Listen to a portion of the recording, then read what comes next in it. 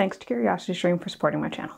This morning I found something from my teenage years that brought back some truly cringe-worthy memories of things that I did, and if you follow me on Instagram you might have seen it in my stories. And I'm sure I'm not the only one who has these memories. There's some awkward and embarrassing stuff that we've all done as kids that, if we had the choice, we would probably rather forget. And as it turns out, there might be research that can help you make that happen, or at least remove that cringe-worthy association with the memory itself. This research focuses on a method called neuro neurofeedback therapy, and while you probably won't be able to use it to forget that awkward moment at prom anytime soon, it is an active area of research for a lot of psychiatric conditions, including post traumatic stress disorder or PTSD, ADHD, and many other conditions. In short, their goal is to help you train your own brain to do anything from remove negative associations with certain images or tasks to help you learn how to focus better. So at a high level, neurofeedback therapy uses brain signals to modulate your own brain activity. This method typically uses EEG or fMRI, which are two methods of recording the electrical activity and signals of your brain. And previously, when we tried to use these methods, especially when it comes to fMRI,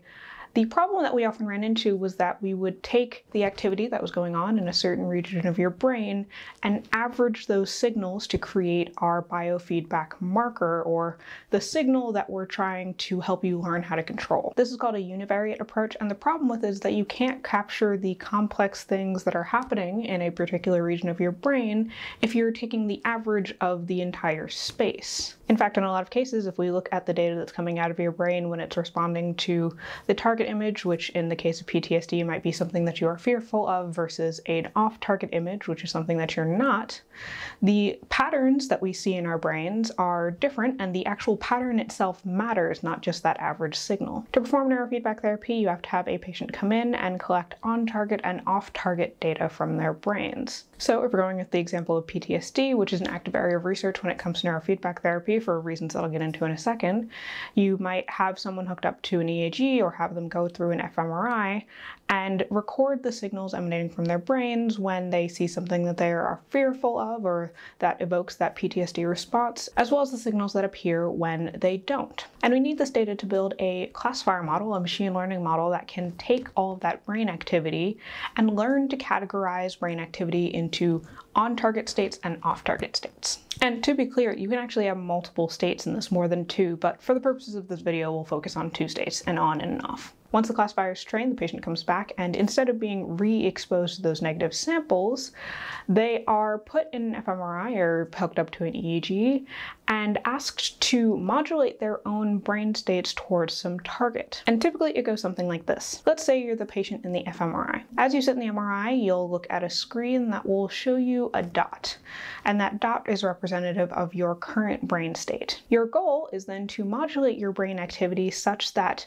that dot expands expands to hit the outer ring of a circle that you can see on screen. Importantly, you're not given instructions on how to do this, but over time you learn how to modulate your own brain activity until you get to that target state consistently. As someone with ADHD, that would mean learning how to adjust my current brain activity to focus my attention on the task at hand, which I could then use once I leave the study if I feel my attention drifting during a task. On the other hand, for someone with PTSD, that might mean training your brain to remove that negative association with whatever triggers your PTSD so that when you encounter it in the real world, you don't experience those PTSD symptoms anymore. And especially for PTSD, this is a really interesting method because currently a lot of PTSD treatment relies on exposure therapy, which requires you to be exposed to the thing that triggers your PTSD over and over again until you learn to have a different response to it.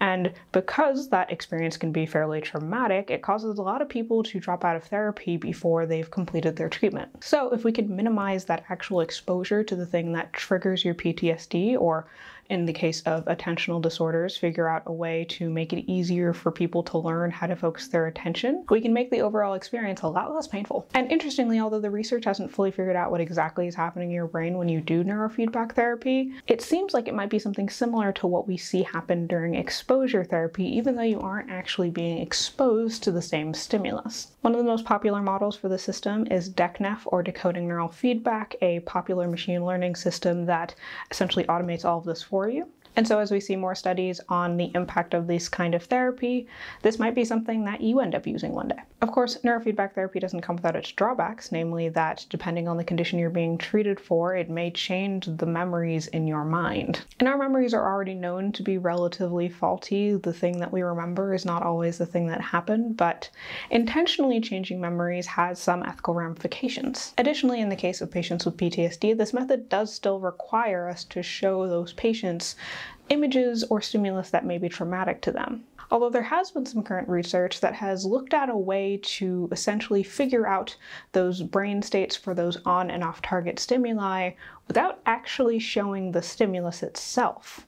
So if we use the PTSD example, that would be figuring out the brain state that is triggering of PTSD symptoms and the brain state that is not without actually showing images or stimuli that trigger the PTSD symptoms themselves. You can check out the Nebula Plus version of this video for the extended deep dive into this paper, but essentially the researchers in this paper figured out a way to show people a wide variety of generally unoffensive images that might be associated with certain types of triggers and use that as an indirect way of getting at the brain states instead of just directly showing someone the thing that they're afraid of. And while this method is really interesting, one of the things that the authors highlight is the fact that the amount of data that you would need to have a model that generalizes to a wide population and also the image set that you would need to do so is often hard to come by in neuroscience research. In fact, and this could be a whole other video, so if you'd be interested in a video on medical data privacy, let me know in the comments. The issue of data privacy in this kind of research is an interesting challenge. Not having enough data to make generalizable models is an ongoing problem in neuro and machine learning research, on top of the fact that medical data often comes in different formats, which can make them difficult to anonymize. And especially when we think about data like MRI data, where your actual whole head and face are being captured by the data, maintaining patient privacy is an important but challenging step that will definitely have to go into this if this ever gets translated into the clinic at a widespread level. I'll stop here for now, but if you're interested in a deeper dive into the research behind data sets and data privacy, you should check out the Nebula Plus version of this video. If you're new to my channel, Nebula is a creator-built platform where you get to watch my videos ad-free and some of your favorite creators, including myself, can create and experiment with awesome content without having to worry about demonetization or paying tribute to the YouTube algorithm. We're thrilled to be partnering with CuriosityStream, a subscription streaming service with thousands of documentaries and nonfiction videos. Want to learn more about data? Check out The Joy of Data, a documentary hosted by mathematician Hannah Fry, who explores how data is stored, shared, made sense of, and what it reveals about us and our world. And where CuriosityStream is all about big budget nonfiction documentaries, we're building Nebula so that education creators have a place to try out content that might not work on YouTube. On Nebula, you'll find ad-free videos from some of your favorite creators, from Tierzoo to Marques Brownlee to The Coding Train, as well as my Nebula Plus content, which includes extended versions of videos that you see on my channel, including videos like this one. You'll also find Nebula Originals like Tom Scott's Game Show Money or Questionable Advice, where Vanessa Hill from Braincraft tries to help me order less takeout. CuriosityStream loves independent creators and wants to help us grow our platform, so if you click on the link in the description or use my promo code Jordan, you can get access to CuriosityStream for 26% off their annual plans, with Nebula included for free for as long as you are a CuriosityStream member. That's less than $15 a year. Signing up for CuriosityStream and Nebula is a great way to directly support my channel while getting to watch the extended version of my videos ad-free. So sign up for CuriosityStream and Nebula at curiositystream.com slash Jordan or using the promo code Jordan.